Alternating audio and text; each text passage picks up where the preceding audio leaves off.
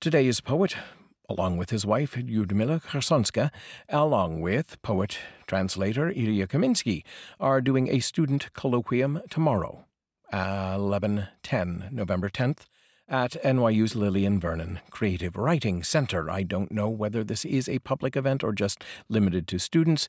Lyudmila, anyone, if you're watching this uh, and want to chime in in the comments, please do for clarity. Later in that evening, Ilya Kaminsky and poet-translator Katie Farris have an event of their own. I believe this is public, from 5 to 7, link in the description.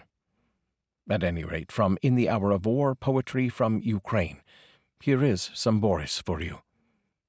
So much packed into such a small space. They printed in the Medical History by Boris Khersonsky, translated by Ilya Kaminsky and Katie Farris. They printed in the medical history.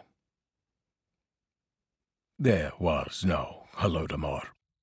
It was the stable delusion of Anna Mikhailenko, a teacher of Ukrainian literature. For seven years, she was in a special psychiatric hospital.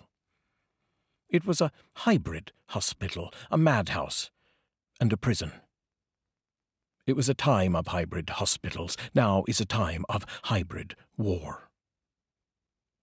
Seven years is a biblical phrase. And Jacob served Laban seven years for Rachel, because he loved her. Seven. Seven years. Rachel calls for her children. She can't calm herself. Because they don't exist.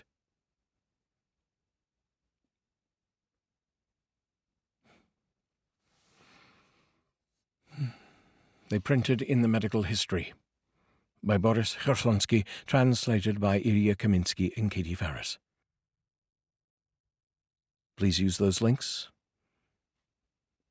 if you're in New York, check out the events if you can.